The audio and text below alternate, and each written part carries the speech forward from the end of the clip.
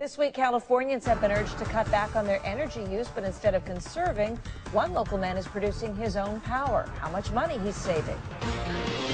From San Diego's number one source for local news, this is News 8 at 11.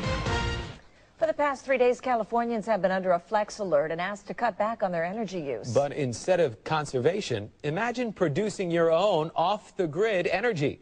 Jeff Zevely met a Del Mar man doing just that. It's a hot summer day, and most of the homes on this block are sucking energy from the state's power grid, but not this one. Green and off the grid. Meet Marty Reed. It feels great. I'm thrilled. Marty's a businessman who recently decided to make the sun work for him. This is the line coming down from the roof into the inverter, turns it into AC. Follow that line to his power box, and Marty is turning the tables on SDG&E. I have appliances on in my house. Everything is working.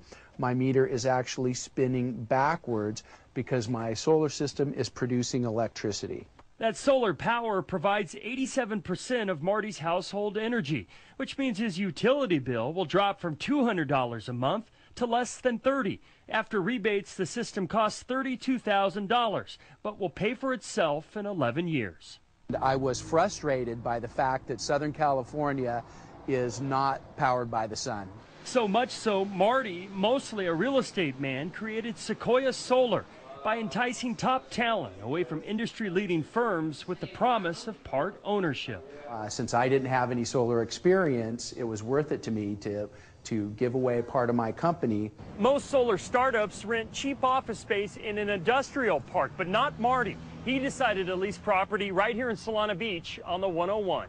The gamble is paying off. Marty says business is booming because he was willing to make the clean energy commitment. All of the company's sales vehicles are hybrids, and the work trucks will soon be running off of biodiesel. How can we sell solar if we're not solar powered ourselves?